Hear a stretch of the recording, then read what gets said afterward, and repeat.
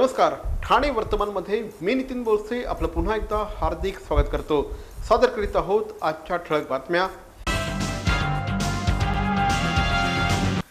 संत शिरोमणी सावतामाळी शेतकरी ते ग्राहक दूध विक्री व्यवस्थेचं उद्घाटन आज. गावदेवी मैदानामध्ये खासदार राजू शेट्टी यांच्या उपस्थितीत संपन्न झालं.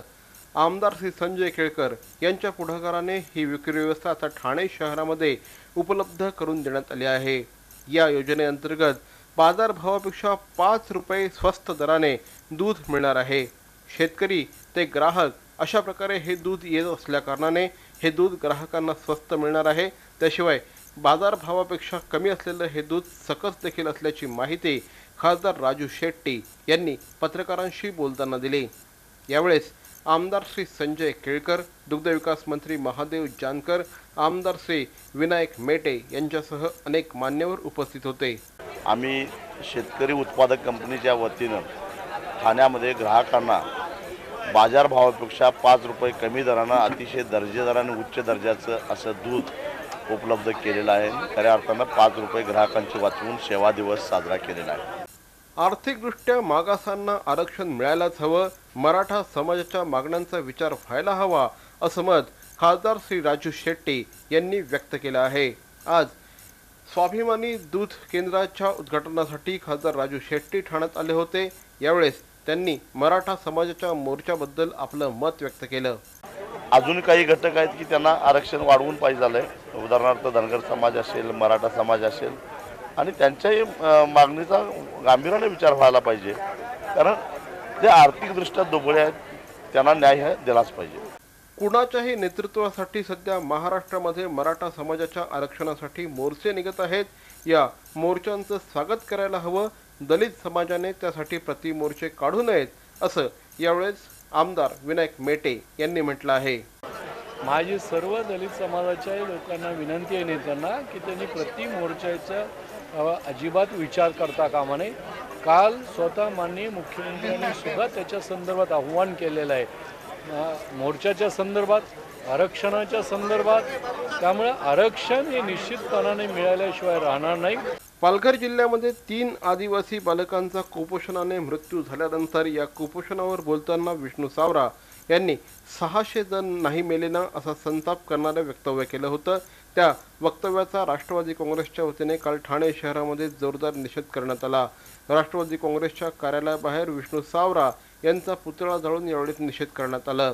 पक्षाचे ठाणे शहर जिल्हाध्यक्ष आनंद परांजपे यांच्या नेतृत्वाखाली हे आंदोलन करण्यात आलं.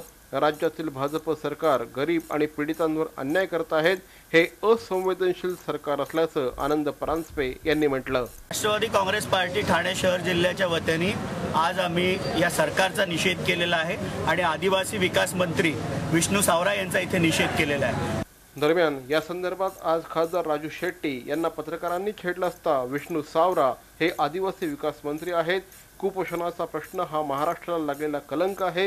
विष्णू सावरा यांनी अधिक जबाबदारीने बोलायला हवं असं यावेळेस खासदार राजू शेट्टी यांनी सांगितलं. पोषण हा खरं तर समाजाला लागलेला कलंक आहे. आणि एका बाजूला आपण एकविसाव्या शतकात जाण्याची भाषा करतो. चंद्रावर आणि मंगळावर जाण्याची भाषा करतो. आणि तिथं जर का अजूनही आपले बालकं कुपोषित राहत असतील तर ती काही चांगली गोष्ट नाही. त्या संदर्भामध्ये खरं तर बोलणाऱ्यांनी सुद्धा संवेदनशील विषय लक्षात घेऊन जबाबदारीनं बोललं पाहिजे असं मला वाटतं. या आणि इतर बातम्या मात्र एका छोट्याशा जाहिरातीनंतर.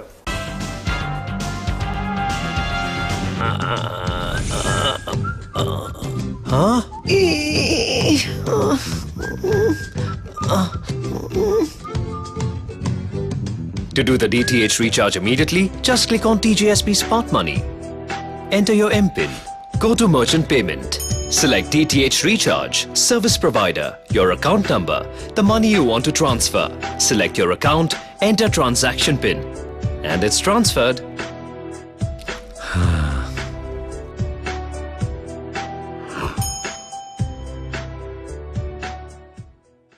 Baron Men स्टुडिओचा लग्नसराई धमाका.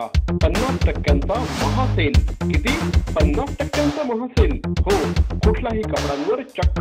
पन्नास टक्के ऑफ बॅरॉन मेन स्टुडिओ आमंत्रण हॉटेल जवळ जिल्हा परिषदेसमोर स्टेशन रोड ठाणे दूरध्वनी zero two two two five three zero four eight three seven. Baron Men Studio Thane police आयुक्तालयात कार्यरत असलेल्या बावीस वर्षीय सागर मलुसकर या पोलीस कॉन्स्टेबलने स्वतःच्या रिव्हॉल्वरमधून गोळी झाडून आत्महत्या करण्याचा प्रयत्न केला आहे. नेमकी हे आत्महत्येचा प्रयत्न आहे की अन्य काही? या संदर्भात आता ठाणे पोलीस अधिक तपास करत आहेत. ठाणे पोलीस आयुक्तालयामध्ये क्वार्टर गार्डमध्ये कार्यरत असलेला सागर मलुसकर ने परवा रात्री बारा वाजण्याच्या सुमारास स्वतःवर गोळी झाडून आत्महत्या करण्याचा प्रयत्न केला होता.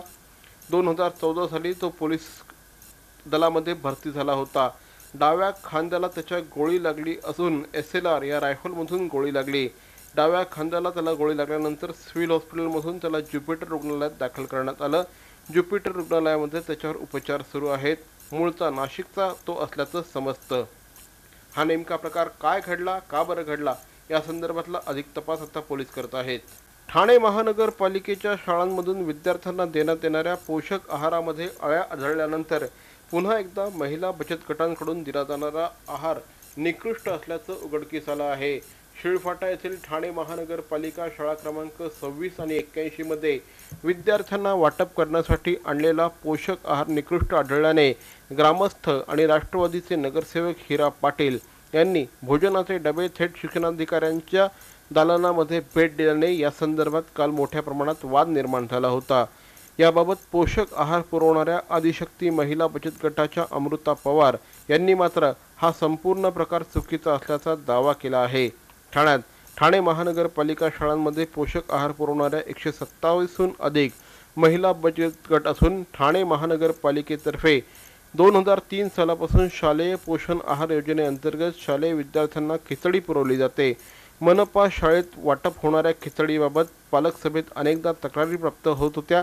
काही दिवसांपूर्वी शिळफाटा येथील मनपा माध्यमिक शाळा क्रमांक सव्वीस आणि एक्क्याऐंशीमध्ये वाटप करण्यात आलेल्या खिचडीत अळ्या सापडल्याने त्याची तक्रार नगरसेवक हिरा पाटील यांनी प्रशासनाकडे केल्यानंतर सदरचा ठेका रद्द करण्यात आला होता.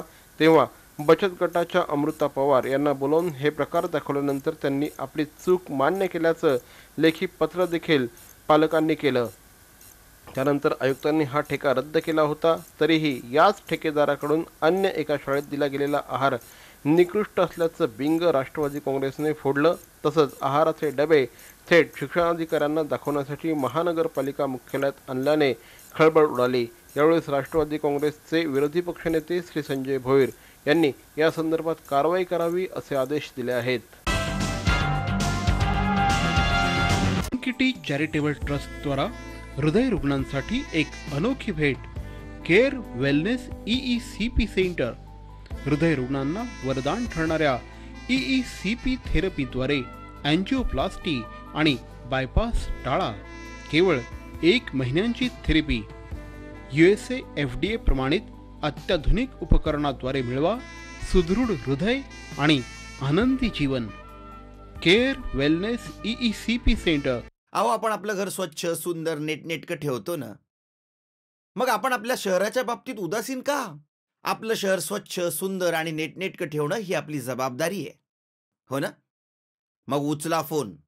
आणि विना परवाना होर्डिंग्स बॅनर्स कुठे दिसले तर एक आठ शून्य शून्य दोन दोन दोन एक शून्य आठ या टोल फ्री क्रमांकावर कळवा. त्याची दखल त्वरित घेतली जाईल. लक्षात घ्या. आपला छोटासा सहभाग आपलं शहर स्वच्छ सुंदर आणि नेटनेटकं बनवू शकतो. ठाणे शहरातील साईकृपा हॉटेलजवळ असलेल्या रोल्स मॅनिया या छोटेखानी हॉटेलमध्ये आज दुपारच्या सुमारास आग लागल्याने मोठ्या प्रमाणात खळबळ मारली आहे. या ठिकाणी जे तेल ठेवलं होतं ते खूप मोठ्या प्रमाणात तापल्याने या ठिकाणी आग लागल्याचं या हॉटेलमध्ये काम करणाऱ्या कर्मचाऱ्यांनी सांगितलं आहे. हा संपूर्ण प्रकार घडल्यानंतर तातडीने ठाणे महानगरपालिकेचे अग्निशमन दलाचे कर्मचारी घटनास्थळी रवाना झाले. सुदैवाने या संपूर्ण प्रकारात कुठल्याही प्रकारची जीवित हानी झालेली नाही. अग्निशमन दलाच्या अधिकाऱ्यांनी आणि कर्मचाऱ्यांनी ताबडतोब या आगीवर नियंत्रण मिळवलं. ठाण्याचे महापौर श्री संजय मोरे यांच्या प्रभागामध्ये कालपासून यू टी डब्ल्यू टी अंतर्गत सिमेंट काँक्रिटीकरणाचं काम सुरू झालं आहे. काल महापौर श्री संजय मोरे यांच्या उपस्थितीत आणि आमदार श्री रवींद्र फाटक यांच्या हस्ते या ठिकाणी या कामाचा शुभारंभ करण्यात आला. यू टी डब्ल्यू टी अंतर्गत प्रभागातील सगळे रस्ते आता चकाचक होणार आहेत. त्यामुळे शिवाजीनगर परिसरातील नागरिकांना महानगरपालिकेच्या निवडणुकीच्या तोंडावर अतिशय दर्जेदार रस्त्यांची भेट मिळणार असल्याचं या निमित्ताने बोललं जात आहे. काल आमदार श्री रवींद्र फाटक यांच्या हस्ते या कामाचा शुभारंभ करण्यात आला. तर मंडळी या होत्या आजच्या ठळक बातम्या. आमचा पत्ता ठाणे वर्तमान Dadoji Konde stadium shop number सोळा खाटन रोड ठाणे पश्चिम. दूरध्वनी क्रमांक nine eight two zero nine three nine four two zero.